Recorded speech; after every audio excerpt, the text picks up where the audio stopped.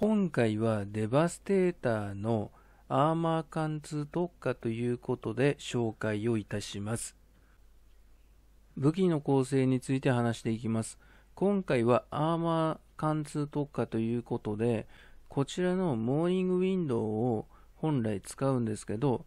モーニングウィンドウを使わずに、このアーマー貫通を活かしたいので、このアネモイを使います。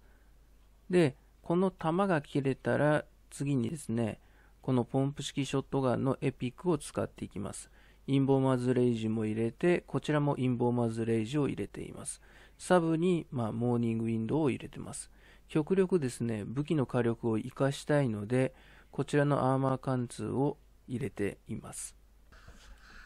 続いて装備の構成について話していきます。頭にはシャープアイ、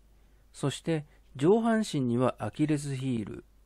で、下半身にはプレートピアサーも入れていて、クリットスタックは、まあ、厳選していけば拾うことができます。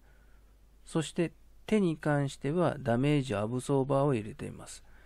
こちらのアーマーですね。アーマーを引き上げて、まあ、極力生存能力を高めるという意味でダメージやアブソーバーを入れています。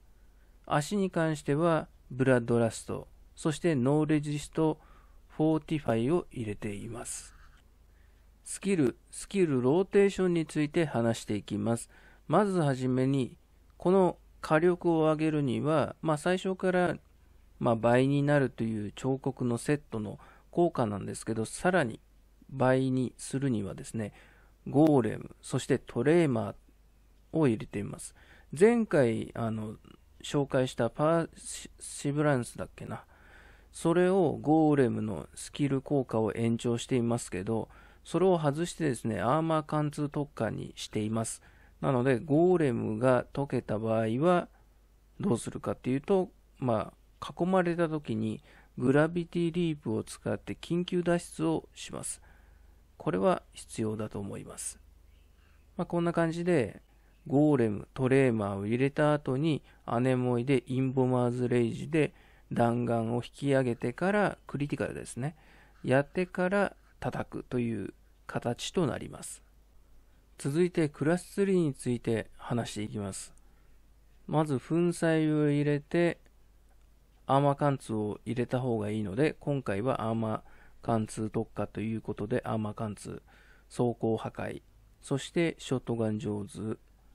荒くれ者を入れてショットガン名人。アーマー貫通ということで走行破壊。粉砕。投資。会心を入れて粉砕、荒くれ者、粉砕。で回復ですね。で、弾幕を入れて弾薬備蓄、そして退治、完全なる吸収で走行破壊、変異者の突撃となります。続いて火力について話していきたいと思います。今の火力は、まあ、この持ってるアネモイが強いので火力が 195K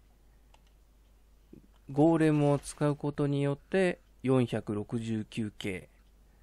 トレーマーを使うことによって 557K も出すことができます